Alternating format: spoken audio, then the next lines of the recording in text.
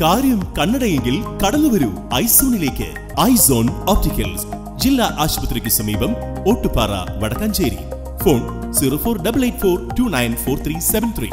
Pannithadam Marathamkode സ്വദേശിയായ ജസീറിനെ വെട്ടിക്കൊലപ്പെടുത്താൻ ശ്രമിച്ച കേസിലെ പ്രധാന പ്രതിയെ പോലീസ് അറസ്റ്റ് ചെയ്തു. വരന്തരപ്പിള്ളി മണ്ണംപേട്ട പാലക്കുന്നിൽ വീട്ടിൽ മുപ്പത്തിനാല് വയസ്സുള്ള സനോജിനെയാണ് എരുമപ്പെട്ടി പോലീസ് അറസ്റ്റ് ചെയ്തത്.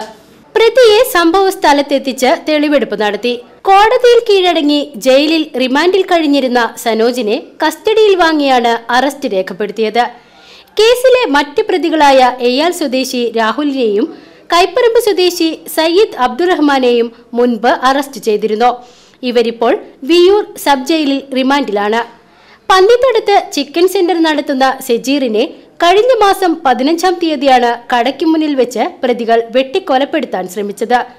വാളുകൾ ഉൾപ്പെടെയുള്ള മാരകായുധങ്ങൾ ഉപയോഗിച്ച് നടത്തിയ ആക്രമണത്തിൽ സെജീറിന്റെ രണ്ട് കൈകൾക്കും വെട്ടേറ്റ് ഗുരുതര പരിക്കേറ്റിട്ടുണ്ട്.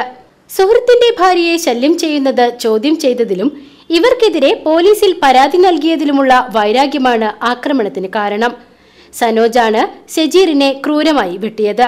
ഇരുപതോളം ക്രിമിനൽ കേസുകളിൽ പ്രതിയായ സനോജിനെ സംഭവത്തിലെ സൂത്രധാരായ രാഹുലും അബ്ദുറഹ്മാനും ചേർന്ന് കൊട്ടേഷൻ നൽകിയതാകാമെന്നാണ് നിഗമനം.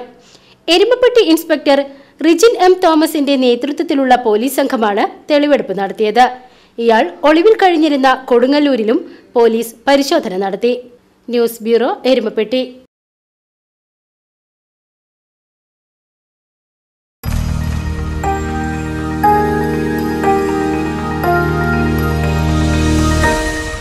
You are watching VCV News.